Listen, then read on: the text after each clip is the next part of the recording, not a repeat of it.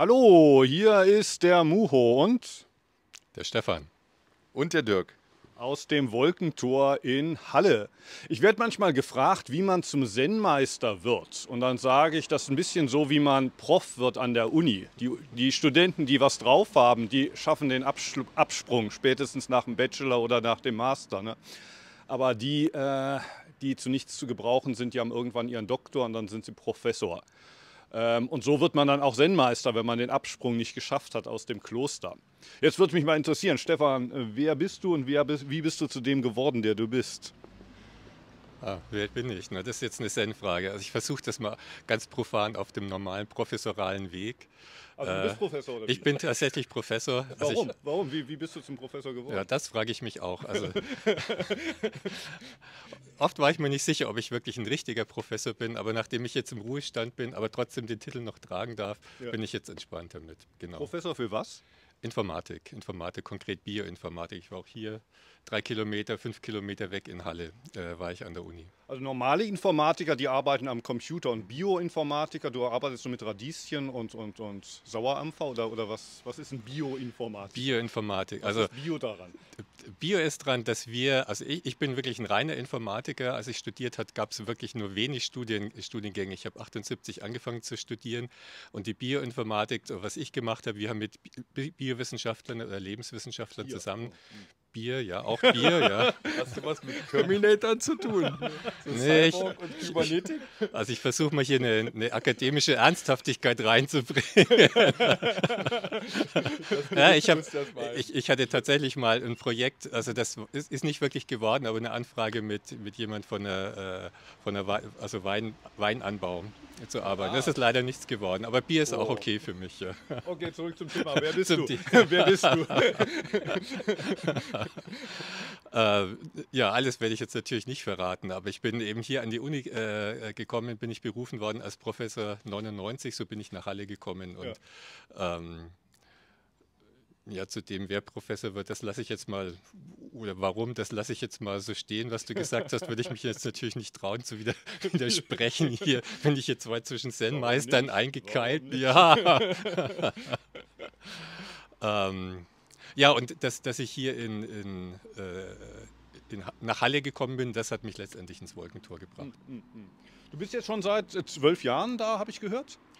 Ja, ja, ein bisschen, doch ja, seit zwölf, nein, Dirk weiß das immer äh, ganz gut, weil unseren ersten Termin hatten wir hier, äh, hätten wir gehabt, der ist aber ausgefallen, weil dann gerade äh, Willi geboren worden ist, der, äh, der das zweite oh, Kind der, des Sohn. Ja, ja. Zwölf Jahre, genau. Bisschen, genau, zwölf Jahre. Aber erzähl doch mal, dass du eigentlich nicht zum Zen kommen wolltest. Das ist ja vielleicht also man muss ja dazu sagen, wir haben jetzt gerade hier verabschieden uns gerade. Muho fährt heute von seiner Deutschlandreise. Der letzte Termin war jetzt mit dem Wochenendsession.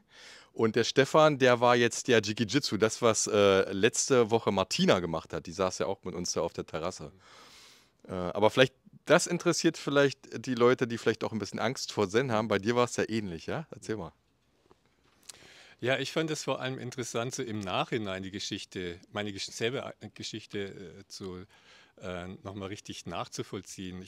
Es war also tatsächlich vor, ich würde sagen, zwölfeinhalb Jahren, wo ich aus jetzt inneren Gründen gedacht habe, ich sage mal platt, äh, ich will mehr sitzen. Und mehr sitzen war jetzt bewusst oder unbewusst, ich sage mal, die große Frage des Lebens oder wie auch immer wir, wir die formulieren wollen. Aber für mich war das wirklich, ich will mehr sitzen. Und das habe ich auch eine Weile gemacht, ein paar Monate. Ähm, und dann habe ich irgendwie gemerkt, nee, das führt nicht weiter, was oder führt mich nicht weiter oder habe gedacht, es fehlt was. Ja. Und habe gedacht, ja, ich, ich will mir jemanden suchen. Und ähm, gefunden habe ich dann Dirk, der inzwischen auch mein, mein, mein Lehrer ist, aber äh, aus Wolkentor bin ich gekommen über einen Flyer, den ich im Bioladen hier gefunden habe. Mhm. Und da stand aber nichts von Zen, sondern von mhm. Ruhepunkt, Burnout-Prävention und so.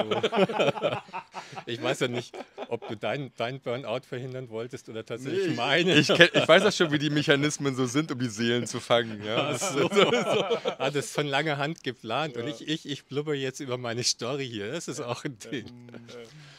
Ja, und dann habe ich Dirk angerufen, obwohl ich schon gewusst habe, dass es nicht das, also, also ich hatte damals auch nicht das Gefühl, eine Burnout-Prävention zu brauchen. Ähm, ja, und ich sage das jetzt einfach mal, dieses erste Telefonat, das war total nett. Total. Ich, ich fand das total schön. Du hast gesagt, nee, wir können wir lieber später telefonieren, weil ich bin gerade mit meiner Tochter auf dem, auf dem Spielplatz und das ist mir gerade wichtiger. Das fand ich total klasse. Das habe ich gesagt. Okay. Ja, das ist mir hängen geblieben. Ja, und dann bin ich hier eben zum Ruhepunkt gekommen. Erst, das war sehr luxuriös. Wir waren da oben im Seminarraum, wo jetzt äh, Apartments sind und da Dirk gerade den Ruhepunkt aufgebaut hat und ich der erste Kunde war, hatte ich die, wirklich das Vergnügen, äh, den Luxus, ähm, einige, einige Wochen so eine 1 zu 1 Betreuung zu haben. Mhm. Und wir sind, haben ein bisschen gesitzt, so ganz bequem, eine Viertelstunde, dann zwischendurch aus dem Fenster schauen und solche Sachen. Gab es das Massage oder sowas? Nee. Ja, das kam dann später. Das war Doch, hatten wir auch am Wolkentor Massage. Ja, weißt du, ja. Sensbar hieß der Laden, Sensbar. Ja. Gut, aber zurück zur Reihenfolge. Also ich muss ja hier akademisch den, den, ja. den Faden Struktur, halten. Ne? Genau. Ja, also Ruhepunkt war echt cool. Ne? Und dann gab es aber manche Wochen, wo Dirk gesagt hat, nächste Woche ist kein Ruhepunkt. Ähm, hm, hm, hm, und so im Nachhinein denke ich, dass hier Sessions waren. Genau. Deswegen wollte er uns nicht bedienen. Und er hatte uns aber angeboten, ja, ihr könnt einfach am, am Donnerstag kommen und zwei Stunden mitsitzen. Mhm. Und das habe ich dann auch gemacht, weil mir der Ruhepunkt damals wirklich wichtig war. Also nicht die Burnout immer noch nicht, aber der Kontakt mit dir. Wir waren dann, glaube ich, zu zweit oder zu dritt. Mhm. Ähm, aber das war schon schräg dann. Also für mich, das Session. Das Session. Also da, hier unten dann so, das waren viele Menschen schwarz und mhm. war so, also sehr was ja ein bisschen spaßig, was ich gestern oder vorgestern ja. selber den, unseren Teilnehmern, Teilnehmerinnen beigebracht habe. Ähm, aber es blieb mir nichts anderes übrig. Ne? Und dann, eine Weile später, ich denke eineinhalb Jahre später, hast du gesagt, nee, Ruhepunkt will ich jetzt doch nicht weitermachen, das höre ich auf. Äh, aber die paar Leute, die da waren, auch Stefanie, die jetzt noch hier ist, die auch mit, mit uns zusammen äh, ordiniert worden ist im Juni, mhm. ähm, hast du gesagt, ja, wir können zum Donnerstag zum, mhm. zum, zum Zen kommen. Und für mich ist es tatsächlich so, ähm, ich denke mir oft, wenn, wenn neue Menschen kommen, also ich habe auch eine Weile hier am Donnerstag mitgesetzt und das mal eine Weile auch geleitet, wenn jemand kam und noch nie was gemacht hat. Und dann drei Runden, a 25 Minuten plus Rezitation, das finde ich schon, schon krass. Also für mich wäre beides so von, von 15 Minuten auf drei volle Runden. Und ich musste mich, also das wäre schwer gewesen. Und ich musste mich, ich meine, ich war damals auch nicht mehr ganz jung, ne, also zwölf Jahre jünger als jetzt oder elf, also verrate ich jetzt nicht.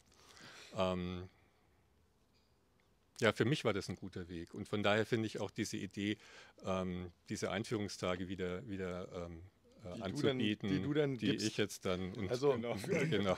Jeder, der äh, Lust hat, sich mit Meditation zu befassen, der ist dann eingeladen. Im nächsten Jahr wird es Einführungstage mit der Martina, die ja schon letztens hat, und dem Stefan, zwei ganz nette Leute. Also die äh, werden euch dann empfangen und auch einen Tee kochen und einen Ruhepunkt finden okay. und so weiter. Also ja, das ist alles nicht so knochig und albern und so martialisch, wie es aussieht, sondern im Hintergrund befinden sich auch noch echte Menschen. Menschen mit Struktur. Ne? ja, schnuppert rein. Ne? Also Wolkentor mitten in Mitteldeutschland. Hier gibt es Buddhas und Bodhisattvas, die sich treffen.